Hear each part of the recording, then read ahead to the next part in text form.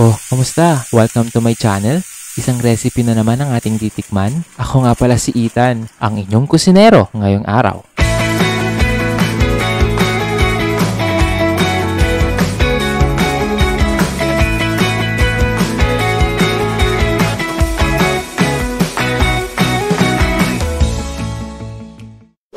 Ang lulutuin ko ngayon ay masarap pang merienda at pangpulutan.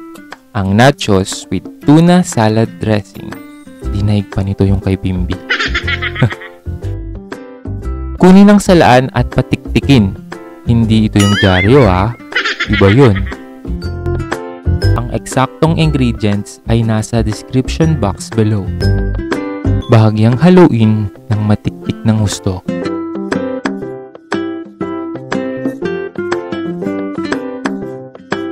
Iset aside muna ang tuna at maghanda ng kawali.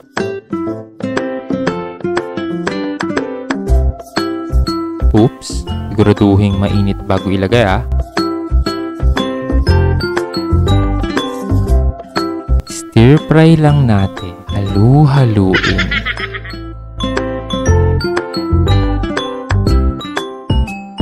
Isunod mo na ang pepper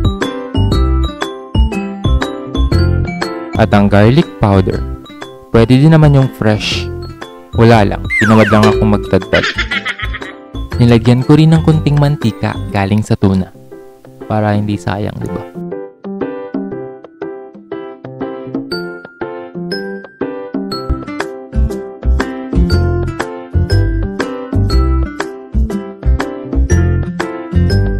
Para mas sumarap pa ang ating tuna, nilagyan ko ng sibuyas na puti. Pwede rin yung pula ba o violet. Basta sabi ng nanay ko pula daw eh. Haluin mo lang hanggang maamoy mo na ang aroma ng sibuyas.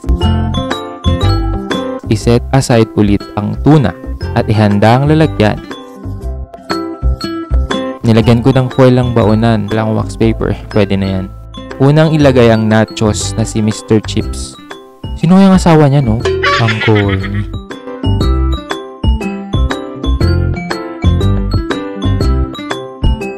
Isunod na ang tuna sa ibabaw.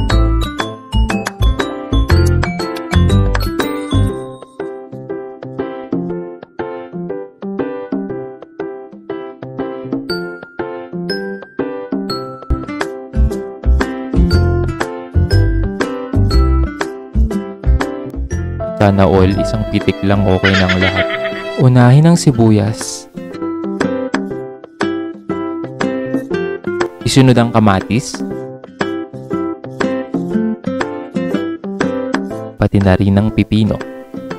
Hindi ko na binalatan, laman dyan din yan. Sunod ang ating mayonnaise.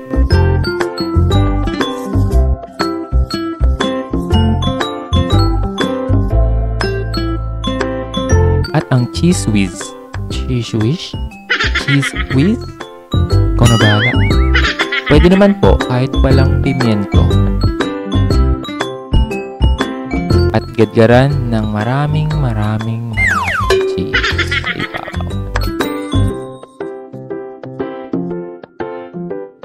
Ito na. Sobrang dali lang, di ba? Ang nachos with tuna salad dressing.